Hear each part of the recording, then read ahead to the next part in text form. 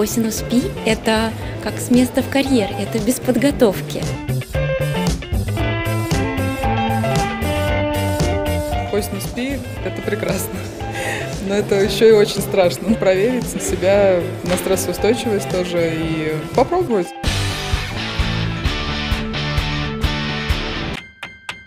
Косинус Пи – это урок, это мастер-класс. Там все, которые смотрят, могут получить тоже очень ценные советы от членов жюри, точно так же, как и конкурсанты. Ну, есть только одно место для, для победителя, но они все показывали очень хорошие, очень профессиональные стороны.